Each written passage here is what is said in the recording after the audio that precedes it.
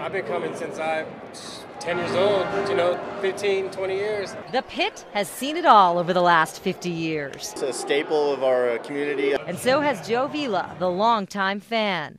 Since the uh, late 40s, early 50s. He hasn't missed a single Lobo game at the pit since it opened in 1966. Well, I think it's a signature of Albuquerque.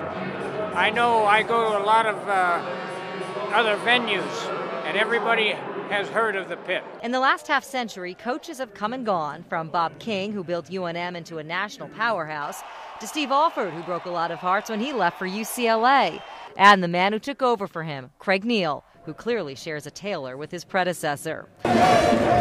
Over the years, the pit has added seats, modernized its amenities, and even got a new name a few years back.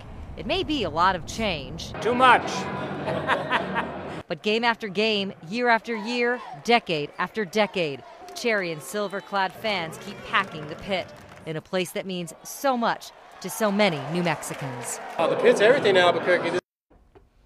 The Lobo